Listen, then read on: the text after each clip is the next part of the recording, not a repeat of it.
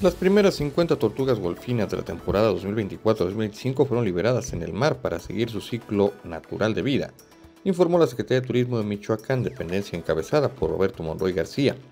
Estas crías de la primera tortuga golfina, que llegó el pasado 30 de mayo, fueron cuidadas en los nidos de la Villal en Lázaro Cárdenas, a donde han llegado las tortugas marinas a desovar y depositar sus huevos, que han sido resguardados por personal del propio campamento. Este nido que fue liberado fue recuperado el 30 de mayo. No fueron los 45 días de incubación habituales, porque los teníamos bajo sombra. Ellas nacieron el 22 de julio, a las 4 de la mañana y fueron liberadas ese mismo día a las 7, comentó Alonso Ramírez Galeana, presidente del campamento tortuguero El Avillal. A partir de las siguientes semanas comenzarán a nacer más crías que han sido recuperadas y resguardadas en los campamentos tortugueros desde el mes de junio.